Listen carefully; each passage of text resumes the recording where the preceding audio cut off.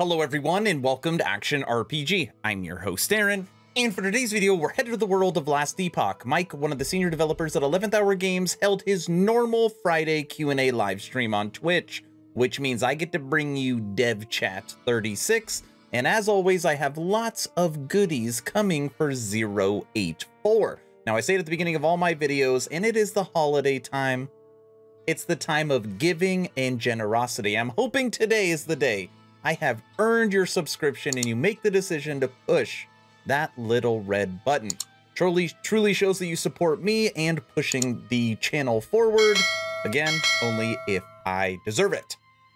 As always, I will share my thoughts. Please feel free to share yours in the comment section below. Here we go. And we're gonna start with our first leak right now, a little bit of art for you to enjoy. Was I saying? And no, Judd was not carrying me on his prime list. Here we go. This is a uh, one of our support, one of our new supporter uniques coming next patch. Um, this is just the art for it, but I think the art's really cool. So uh, I'll just I'm just gonna stick this up here, and you guys can look at that instead of the bottom right corner of my screen.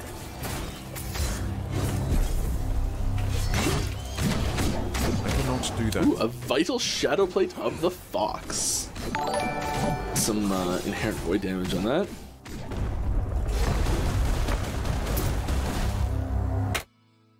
Art looks pretty good. Leak number two, and again, some art for you to enjoy. This is a skill revealed yesterday, I think. New skill, Umbral Blades for the Rogue, which is uh, it's gonna be a really cool new skill. It looks cool.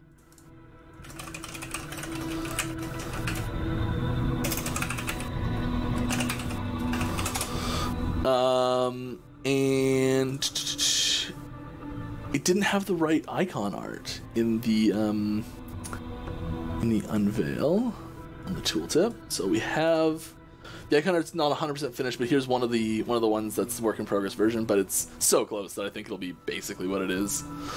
Um, I think we should probably update the Here it update comes. that post as well with it. But it's this is also a um, combo ability, so there's like three different icons. This is just the initial one, I think. So, yeah.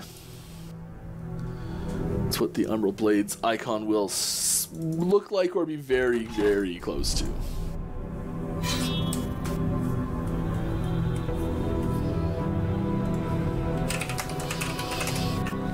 Get over here.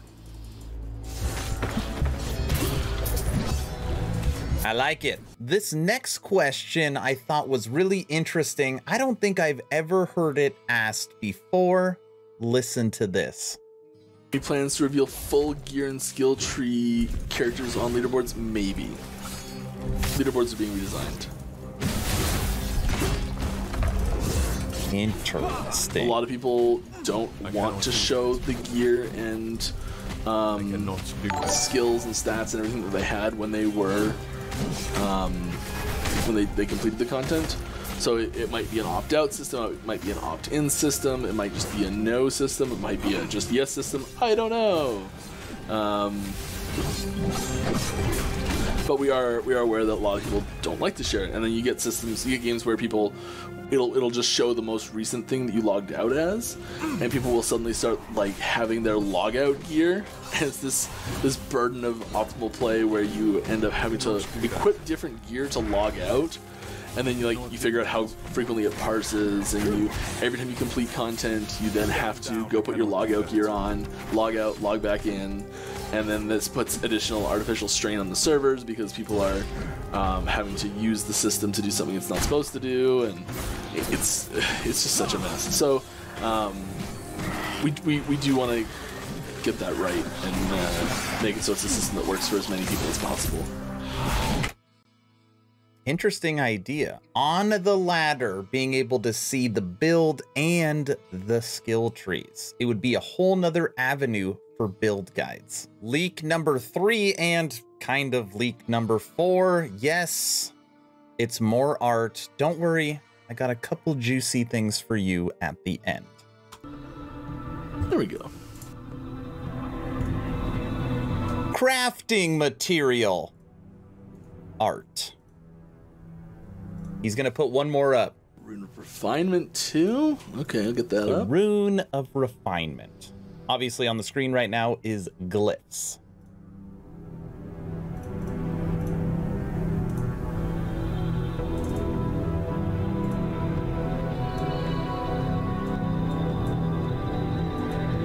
It's coming, just take it in. There we go. There it is.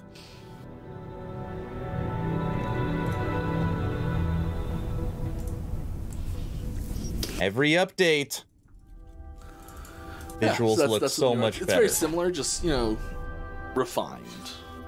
Refined. Leak number five, more art. Don't get bored yet.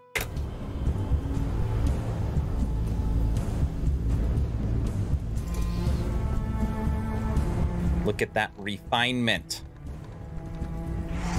Uh, why are there no ability to assign action like drinking potions to your mouse buttons? Oh, is there not? There isn't. I cannot do There should be if there's not. I think I suspect there is.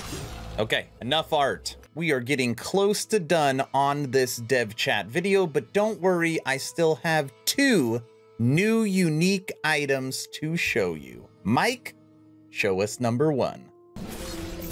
Eh, no one wants to see me do this monolith anyways. Remember the art from earlier? Woozle, Uh, here is prismatic gaze. I cannot do that. uh, new unique item coming next patch. This is one of our supporter uniques. I cannot do I think the supporter's name is in the top right corner.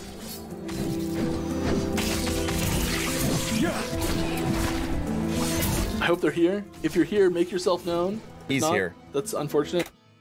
Okay, well, we can kind of see it. Prismic Gaze. Create a prism shard when you use an elemental skill. Five max prism shards. Prism shards orbit you for up to 10 seconds and then expire. If released, they target the nearest enemy and explode, dealing elemental damage and shredding elemental resistance. Resists, uh, release all prisms when you use a skill that costs at least 40 mana. Oh, interesting. Range 224 on critical strike chance, 40% increased critical strike chance, 7% less elemental damage taken, and that is a range anywhere from 5 to 10.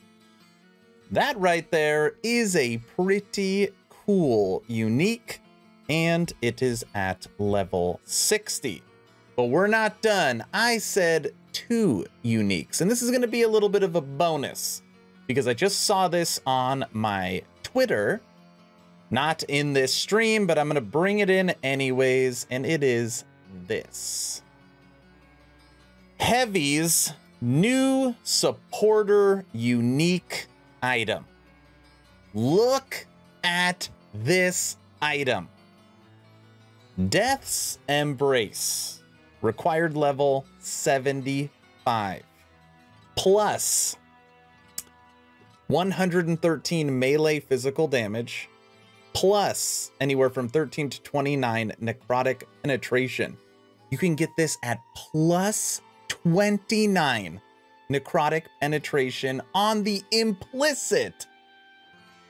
And then on top of that, you can get 29% minion necrotic penetration if you were going to have minions. Okay, then you look at the other affixes, plus 52 to melee necrotic, that is a range of 40 to 60, plus 75 melee critical strike multiplier, that's 50 to 90, uh, 60 to 78% less bonus damage taken from critical strikes, gain a stack of harrowing claim when you use harvest and hit at least one enemy. Harrowing claim lasts 1.5 seconds. Stacks are reple- refreshed when gained max two stacks. Using harvest while at two stacks of harrowing claim instead consumes them to perform grim harvest, granting 200% more melee damage and 100% increased area of effect, but consumes mana and health. 12 to 24 Mana consumed by Grim Harvest, 22% of current health consumed by Grim Harvest. This item for a Lich is amazing. Heavy, my friend, you did a really good job. Really good job. In 11th Hour Games, the art on this item, I love it. It might be my favorite item I have seen so far. Four uniques coming for 084. So that's it. You got to see some new art. You got to see two new uniques. And that is Dev Chat 36. Mike, as always, thank you for continuing to do your Friday live streams. The community truly appreciates it. And I want to know your opinion out there in the comments section. What was your favorite thing about Dev Chat 36? I'm sure you've heard by now that I have officially started a Twitch playing lots of Last Epoch in preparation for 084. I stream on Tuesday, Wednesday, Friday, and Sunday, having so much fun with the ARPG community. First link in the description if you'd like to go there and support. If you haven't had a chance to join the official Action RPG Discord, please do so. We're now over 1,200 members, great conversations every day. The idea is to create a gaming community that could jump from game to game together, so you never start the server alone. Link for that Discord is also in the description. I hope you all enjoyed this video. Hopefully you're entertained or at least learned something. Aaron, out.